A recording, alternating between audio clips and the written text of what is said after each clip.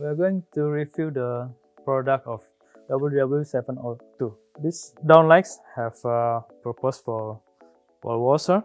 The material is aluminum finish with a matte white reflector on it and it's delivered very wide beam angle which is 38 and we are using the CRI 90 for the chip and it's using the 3000K and for this item we are use, gonna use the DALI dimming.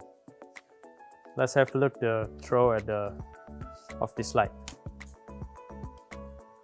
It's slanted and diffuse. It's very strong because there's a double reflector uh, inside it you can have a look the other, other information in our comparison table that we already submitted to you and we look forward to receive the comments and approval for these slides. Thank you very much.